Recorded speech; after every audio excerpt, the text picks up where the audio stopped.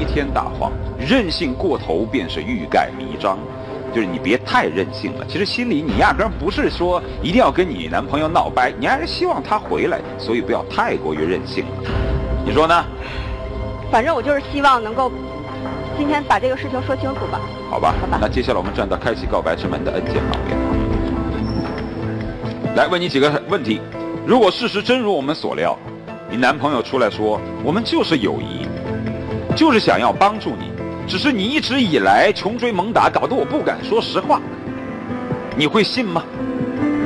首先，他跟我说明白这件事情啊到底是怎么回事，儿。我的意思就是说，他跟你说明白，他就是好朋友，帮助我同时，。同时，我啊希望他把那个女人带来，无论是他的前女友也好，还是某一位大姐也好，都要把她带来。那意思就是说，那个女生不出现，这个男生是百口莫辩，这辈子说不清。我不想听他单方面的解释，没有用了。他就不来，你男朋友说了你也不信，那你会分手吗？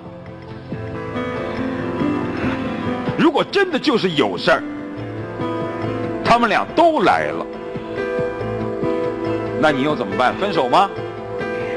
真有事儿，真有事儿，我一人扇一个耳光。我我我劝你镇定点儿啊，劝你镇定点儿。